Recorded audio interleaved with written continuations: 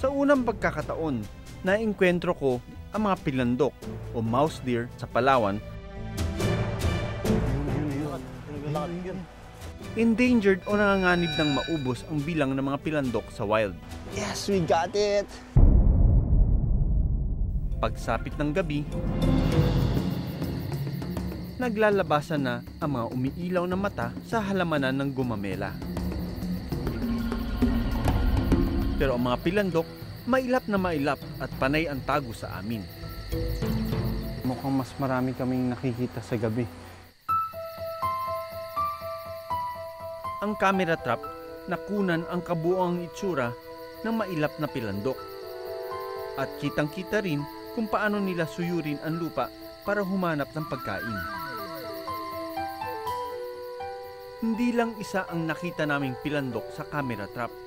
Isang magandang senyales na nagpaparami ang nanganganib nilang populasyon. Pero may problema pa rin kakarapin ang mga hayop na ito. Dahil sa totoo lang, hindi natural na matatagpuan sa isla ang mga pilandok. Sa balabak lang na nasa timog ng Palawan tanging makikita ang mga pilandok. Pero ang mga pilandok na nakita ko nasa ibang parte ng Palawan kung saan hindi naman sila dating nakikita. Dati lang silang alaga na napakulan at dumami. Katunayan, walang natural na ilog na pwedeng inuman ng mga pilandok sa isla. Kaya naman, ang resort gumawa raw ng paraan para sila makainom.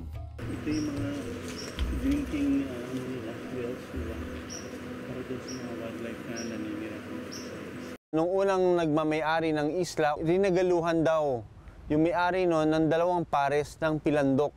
So that was around the mga 1980s. And uh, simula nun, dumami na ng dumami sila. Dahil sa inbreeding o pagpaparami ng magkakamag-anak na pilandok sa lugar, magiging sakitin at mahina ang susunod nilang lahi pagkaraan ng maraming dekada. Dahil nga sa history na apat lang pala yung pinagmulan, patagal ng patagal, panipis na ng panipis yung kanilang lahi, nagiging prone sila sa mga sakit.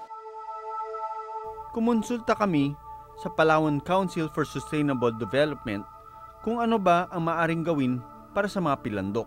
Thank you for informing us of that uh, issue because uh, hindi rin namin alam talaga because Palawan is too wide. We will just have to advise our district management office we have in uh, mainland Rojas uh, so to investigate and uh, gather data and facts about that matter. Sa ngayon, mahalaga ay masimulan ang pag-iisip ng paraan kung ano ang dapat gawin sa kaso ng mga pilandok sa resort na ito.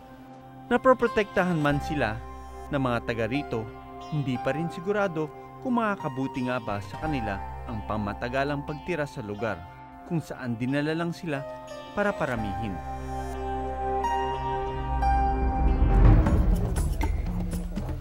Oh no! Mas ano ngayon, mas pronounced ngayon yung tail niya. I think the curvature is gone worse.